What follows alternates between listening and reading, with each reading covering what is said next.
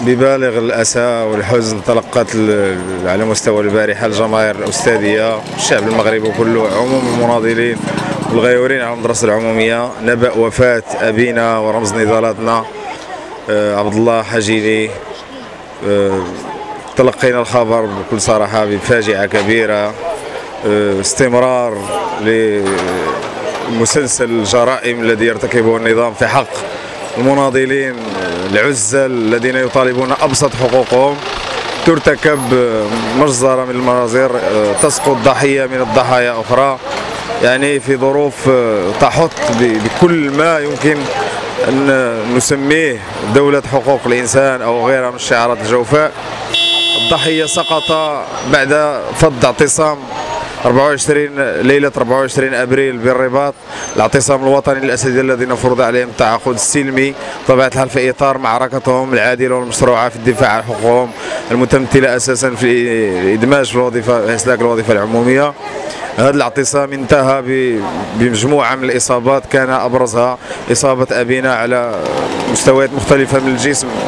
على مستوى الرئة على مستوى الكبد على مستوى الكلي بطبيعة الحال هذه الإصابات كان آه، دخل على اثرها المستشفى بن سينا بالرباط. وسط تعتيم ممنهج. من ذلك الحين آه، لم نعرف التطورات آه، الحقيقية لصحة أبينا المرحوم عبد الله حجيلي. كان هناك تعتيم بطبيعة الحال لكن اليوم نصدم بهذا الخبر بكل صراحة. آه، عزاؤنا واحد. آه، خير ما نكرم به الشهيد وأن نتبع خطاه. لا بديل عن آه، طبيعة الحال معركتنا. نحن ماضون بلا هوذا.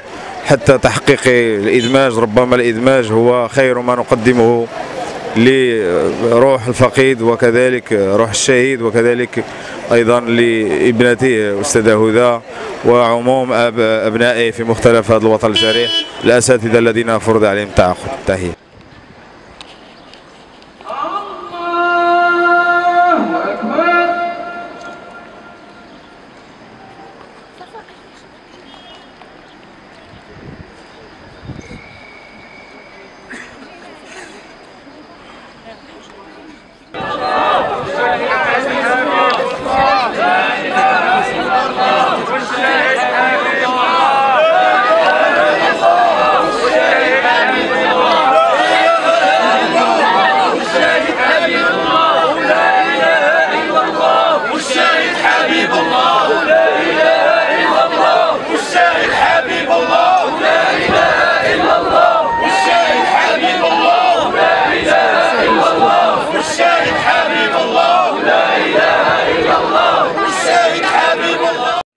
إطارنا العتيد التنسيقية الوطنية للأساتذة الذين فرض عليهم التعاقد تحية لجميع الأساتذة والأستاذات ول يعني عموم الحاضرين معنا في آه، يعني جنازة آه، أو في تشييع جثمان شهيد القضية أو شهيد التنسيقية الوطنية للأساتذة الذين فرض عليهم التعاقد أبينا أبونا جميعا عبد الله حجيلي يعني من هذا المنبر أولا نقدم يعني عزاؤنا لسكينة أسفي ولأسرة الفقيد رحمة الله عليه. ثم يعني نحمل الدولة آه، كامل المسؤولية في وفاة يعني آه، الأب ديالنا عبد الله حجيلي لأن هذا الأب ربما يعرفه الجميع بالطيبوبة ديالو وبالحضور ديالو الدائم في المسيرات ديال التنسيقية الوطنية للأساتذة الذين فرض عليهم التعاقد. ولكن للأسف الشديد ذهب مع ابنته لمدينة الرباط وهو يأمل خيرا في أن تنال ابنته يعني ولو قسطا من الحرية والكرامة. ولكن للأسف الشديد عاد إلى مدينته وهو جثة هامدة على إثر التدخل الهمجي والقمعي الذي تعرض له في المبيت الليلي يوم 23 20 أبريل مدينة الرباط مما خلف يعني مجموعة من الكسور على مستوى الكبد وتضررت الرئة ديالو الكليتين كسر على مستوى الرجل على مستوى اليد مستوى الرأس يعني بالتالي هذه الطبيعة هذا التدخل القمعي يعني ذهب على اثره إلى مستشفى ديال ديال السويسي شهر لمدة شهر كامل. وهو تحت العناية المشدده في غيبوبة وكل هذا الشهر يعني رافقه تعتيم إعلامي ومنعت الأسرة ديالو باش أنها تطلع على الملف الطبي لحدوث الساعة لم تطلع عليه لا الأسرة ديالو ولا التنسيقيه الوطنيه الاساسيه التعاقد.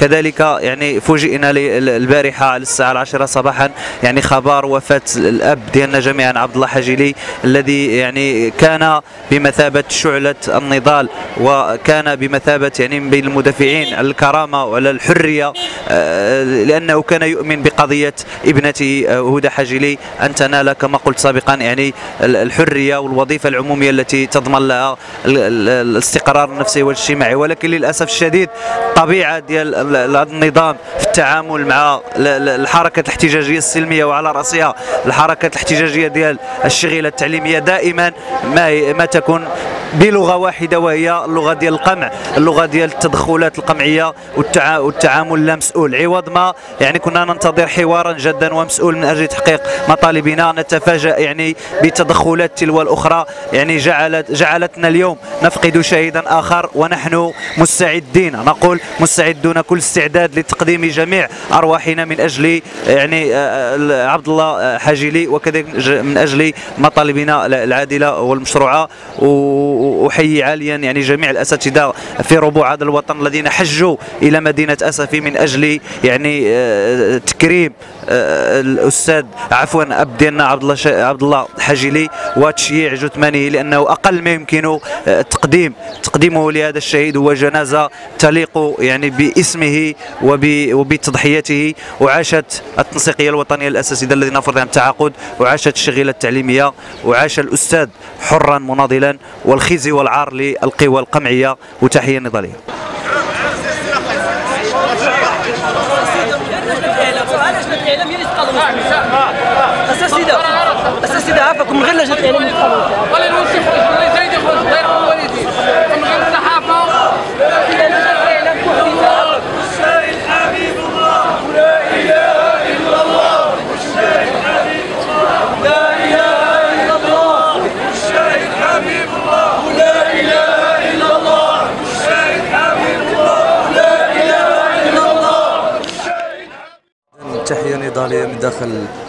إطار التنسيقية الوطنية الأسدي الذين فرض عليهم التعاقد. إذا نحن نشهد اليوم استشهاد رجل من رجالات هذا البلد مناضل من مناضلي هذا البلد الأب ديال النجميه السيد عبد الله الحاجلي والذي استشهد إثر التدخل القمعي في آه، المبيت الذي كانت تنظمه التنسيقيه الوطنيه الاسد الذين فرض عليهم التعاقد. آه، السي عبد الله الحاجلي كان يرافق الابن ديالو.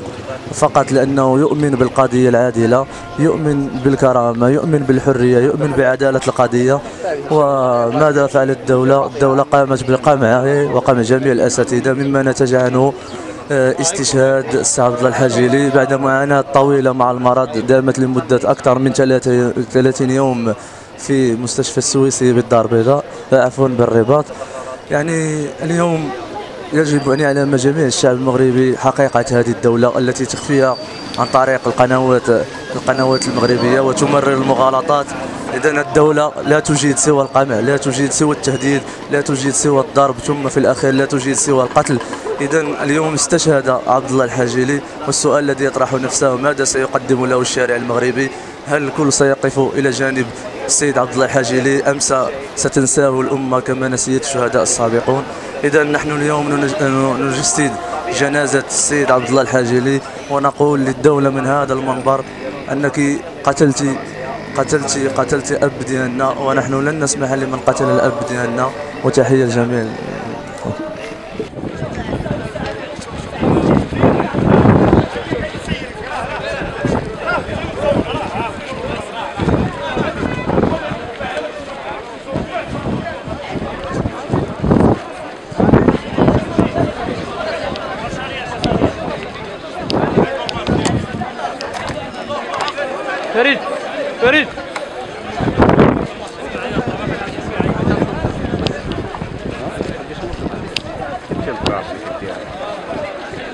Sicília.